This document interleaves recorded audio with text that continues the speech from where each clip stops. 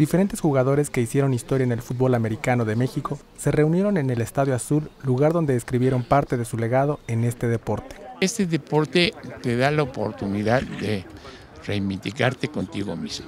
Se ha expandido mucho, para bien de este deporte y para bien de la sociedad, porque aquí se, se, se exige. Pero aquí en este juego, sobre todo, el respeto al contrario es lo más importante. Pues es un deporte que me formó y que sigo amándolo y que sigo ayudando al equipo de la Universidad del Estado de México y yo creo que me voy a morir así. Como en todo, necesitamos reglamentos, orden y para la mejoría del deporte. Jugábamos en el Wilfrido Maciú y aquí se jugó ya nada más los clásicos, se jugaban. Se jugaban en CEU y los clásicos se llegaron a jugar aquí.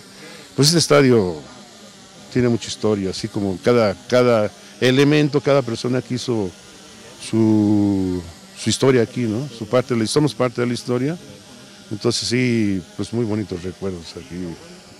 En esta reunión también estuvieron presentes varios de los jugadores de la Liga de Fútbol Americano Profesional de México, quienes con sus respectivos equipos buscarán llegar al tazón tercero que se disputará en el Estadio Azul el 22 de abril del presente año. Con información de Lorenzo Rodríguez e imágenes de Eric Gómez, Notimex.